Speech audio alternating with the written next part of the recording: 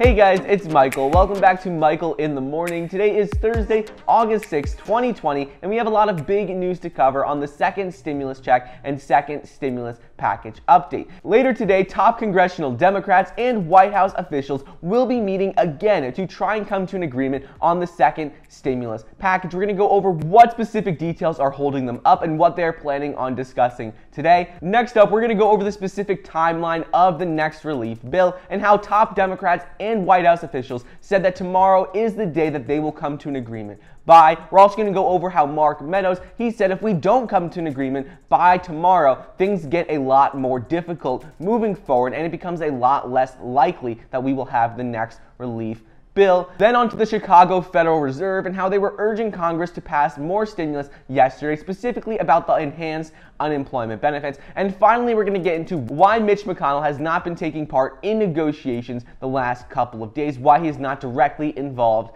in these meetings because a lot of people have been curious. But before we get started, I wanted to remind you guys to enter today's $50 free stock giveaway. All you need to do to be eligible is like the video down below, be subscribed to my channel, and comment down below your favorite stock. I'll be giving one person $50 in the stock that they choose using an app called Stockpile, and I'll be announcing the winner in my second video today. Also, if you don't want to enter, you can still go ahead and get $5 immediately when you download the Acorns investment app and get two free stocks valued up to $1,400 when you download the Webull investing app using the link down below as well. Anyways, let's jump right into it. So, top congressional Democrats and White House officials will try again today on Thursday to find a compromise on legislation for the second stimulus package. As talks start to near the end of the second week of negotiations, the four principal negotiators, Stephen Mnuchin, Mark Meadows, Chuck Schumer, and Nancy Pelosi, appear to be near an agreement on some topics, but still trillions of dollars apart on major issues such as the size of the enhanced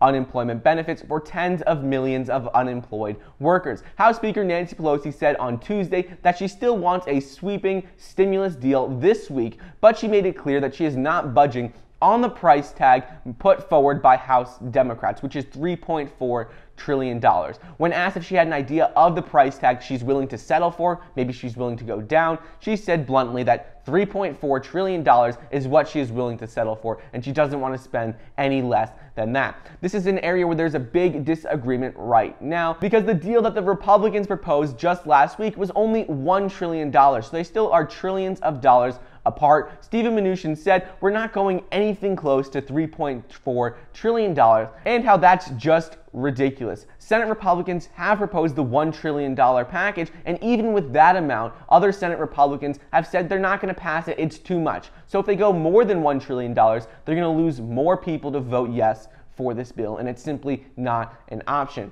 Next up, the White House and congressional Democrats are running up against their self imposed Friday deadline, which is tomorrow, to strike a deal on the next relief package with little signs that they've narrowed the most fundamental issues. Treasury Secretary Stephen Mnuchin told reporters yesterday after nearly two hours of debate that we're trying to get a deal that's good for the American public and good for American workers. He explained how our objective is to try to reach an agreement of the major issues by Friday, and how if we can't reach an agreement, it's going to become more and more difficult to complete a deal. Mark Meadows said the same thing, and he explained how Republicans have already given up more ground than Democrats in the talks, and he explained that if a deal was still out of reach, by the end of this week and they don't come to an agreement by the end of this week, President Donald Trump is prepared to use executive authority to provide forbearance on student loans, impose a moratorium on evictions, and extend supplemental unemployment insurance payments. So this is good news. Either way, if they don't come to an agreement, it sounds like either President Trump will pass some sort of executive actions to make sure we get more money, or Congress will have to come to a deal by the end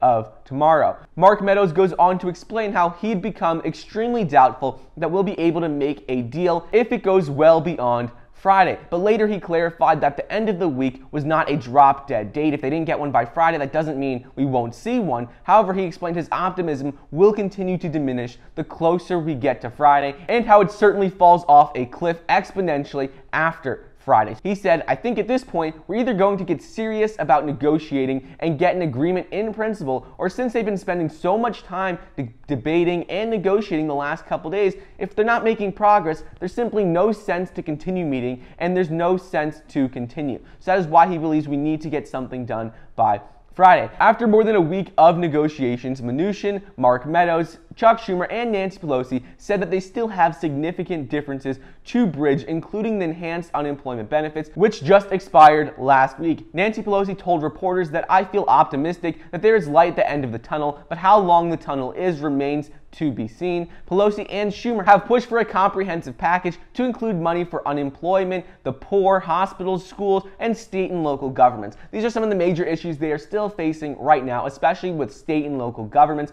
funding for them, and also funding for unemployment. So those are two major issues right now.